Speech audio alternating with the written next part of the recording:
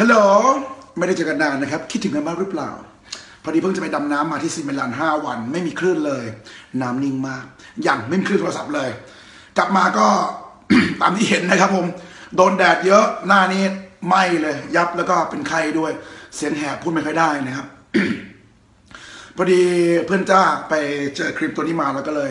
ส่งผลลดออกมาให้เมื่อวาน อืมเป็นเห็นบอกว่าเป็นน้ำผึ้งป่า เนาะ ก็เลยลองใช้ไปเมื่อวานนะครับ ตอนแรกกลับมาต้องบอกว่าหน้านี้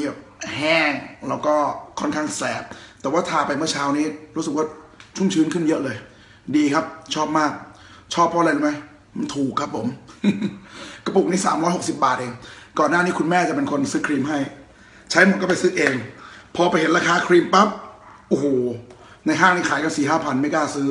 อันนี้สบายกระเป๋า 360 บาท เดี๋ยวจะลองรีวิวให้ใช้นานๆก่อน ดูซิว่าของถูกแล้วดีมีจริงหรือเปล่า